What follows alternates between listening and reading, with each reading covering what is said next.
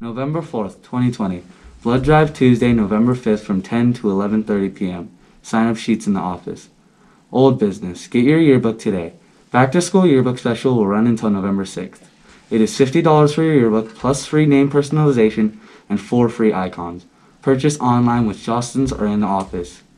Open gym for all sports is closed until Tuesday, the 12th. Stay healthy. There is no school on Wednesday, November 11th in observance of Veterans Day.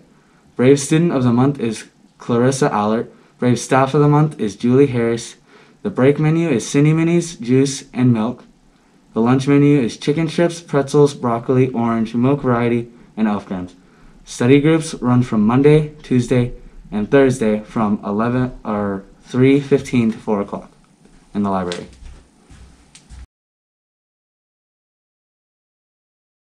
Ready, pledge.